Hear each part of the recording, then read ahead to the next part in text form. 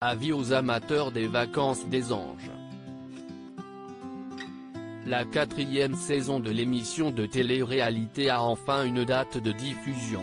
Et si est donc le 29 mars prochain que le programme fera son grand retour sur Énergie 12 avant d'être diffusé du lundi au vendredi à 18h15. A noter que cette saison a bien failli ne pas voir le jour après un début de tournage pour le moins mouvementé. En effet, alors que l'émission devait être tournée sur l'île de la Réunion, un incident a obligé la production à complètement revoir ses plans.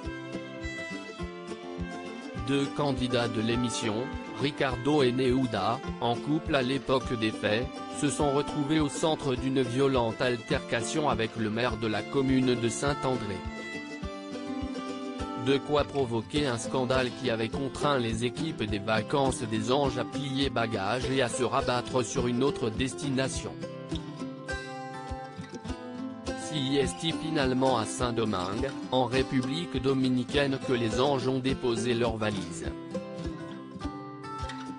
Un spot idyllique où s'était déjà déroulé le tournage de la Villa des Cœurs Brisés il y a peu.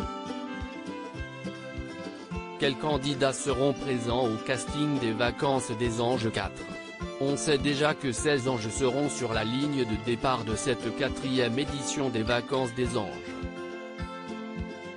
Au casting, on retrouvera Thomas alias Toto, Léana, les jumelles Rania et Rawel mais aussi Sarah Frézou et son mari Ahmed, tandis que les noms de Kevin Zampa, Maïsan et Alan Gage ont également été évoqués.